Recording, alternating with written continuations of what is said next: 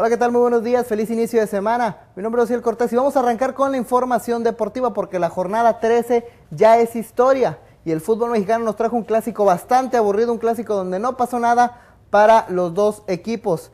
Fue un partido bastante flojo donde las Águilas del la América, a pesar de que llegaron, este, no pudieron hacer más y los porteros, tanto Ochoa como Michel, no fueron tan demandados como lo esperaba. No fue tanto el show, gente que pagó más de 1.500 boletos por asistir a este juego no pudo, no pudo hacer más, más que quedarse con ese marcador. Y el, el Azteca habló y fue un rotundo abucheo.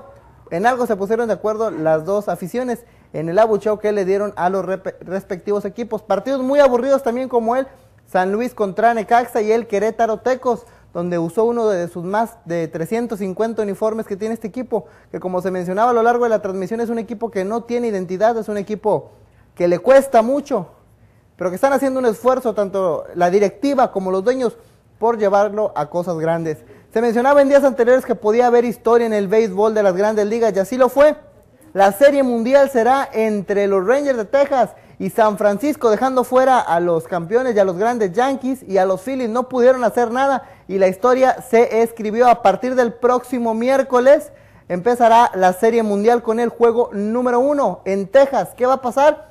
Pues ya realmente no sabemos, es un partido que promete mucho, a pesar de que San Francisco no tiene una delantera pues muy, muy buena, tiene bateadores que han sabido hacer las cosas bien a lo largo de esta serie con Phillies y con Yankees. Y bueno, si algo tiene San Francisco es un poder en su pitcher abridor que dará todo, dará todo para coronarse y llevarse su primera serie mundial. Recuerden que esta que Texas es una de las tres franquicias en la serie, en las grandes ligas que no había tenido oportunidad de aspirar a una serie mundial. Ya lo hicieron, la historia se escribió, Yankee se quedó con su cartera llena de dólares y créanme que si su dueño que falleció este año estuviera vivo, se hubiera vuelto, hubiera vuelto a fallecer nada más del coraje de ver que lo mal que jugó Yankees con ese, con ese potencial que tiene en CC Sabatia y en Shipper Jones y en todos los demás jugadores y la lista de pitchers la cartera que tiene Yankees es impresionante y le pasó lo que al Real Madrid en el fútbol. Es el equipo más caro y ni así podrá ir a la Serie Mundial. Eso es en las grandes ligas. Le recuerdo, miércoles a partir de las 6.30 de la tarde inicia el juego 1 de la Serie Mundial.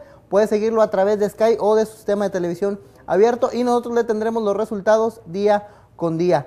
Quien sigue anotando goles y sigue siendo el número uno en, la, en Europa es el Chicharito y ya que este último partido anotó dos goles contra el equipo, el equipo, con el equipo de Manchester United fueron dos goles, tanto uno de cabeza como uno en, en el área chica. Para eso lo llevaron para anotar goles. Este, lamentablemente la prensa mexicana no acaba por entender un poquito esto. Muchos dicen que es su trabajo, que lo tiene que hacer.